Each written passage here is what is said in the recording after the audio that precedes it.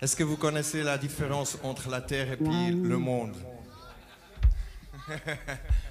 Ben, La différence, c'est que le monde n'existe pas. Et puis la Terre, c'est où on vit. Alors, on ne l'a jamais vu de nos propres yeux si elle est vraiment ronde? Voilà, on peut se poser la question.